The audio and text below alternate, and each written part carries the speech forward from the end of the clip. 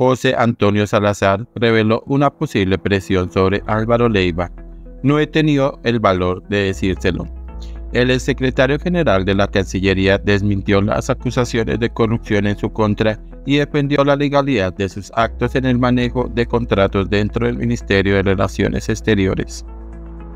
José Antonio Salazar, exsecretario general de la Cancillería, durante una reciente entrevista con el periodista y columnista Daniel Coronel en su canal de YouTube, hizo revelaciones sobre el escándalo que rodea el contrato para la impresión y distribución de pasaportes en el Ministerio de Relaciones Exteriores.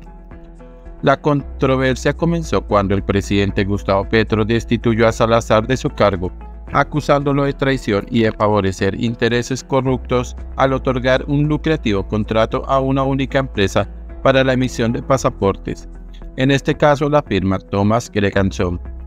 Salazar en su defensa señaló que actuó en el ejercicio de sus plenas competencias y que no estaba obligado a informar previamente sobre sus decisiones. Durante la entrevista, Daniel Coronel señaló que Salazar creía que Álvaro Leiva podría haber recibido una oferta para ser informado sobre la situación, insinuando así que el canciller suspendido también podría haber sido víctima de presiones externas. Le voy a hacer por primera vez una confesión, por primera vez a usted. Yo pienso que el doctor Álvaro Leiva de pronto le dijeron, bueno, le vamos a informar de eso y también de su secretario. Yo no he dejado de pensar que eso pudo haber sido, pero no he tenido el valor de decírselo a él. Esa es la realidad, dijo Salazar. De igual manera, Salazar admitió que, aunque no directamente haber sido contactado para pagar información, pero se defendió al afirmar que reflexionó sobre el dilema ético en su aislamiento. Yo lo que estoy diciendo es que ahí en mi soledad y pensando en todo este rollo, pienso en que seguramente a él también le ofrecieron que le iban a informar. Es lo que yo pienso, pero yo no se lo he dicho por respeto a la amistad. Una de las afirmaciones más impactantes de Salazar fue su declaración de que la decisión de adjudicar el contrato no solo estaba basada en consideraciones legales, sino también en interés público y en evitar un detrimento patrimonial al Estado. Según él, revocar el contrato podría haber expuesto al gobierno una demanda de 117 mil millones de pesos, lo que justificaba su acción en términos de responsabilidad fiscal.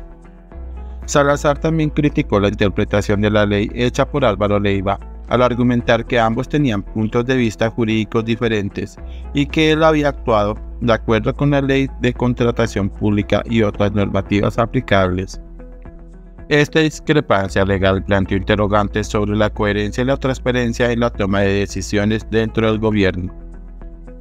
El diálogo entre Salazar y el periodista coronel reveló la complejidad de las decisiones tomadas y sus consecuencias legales.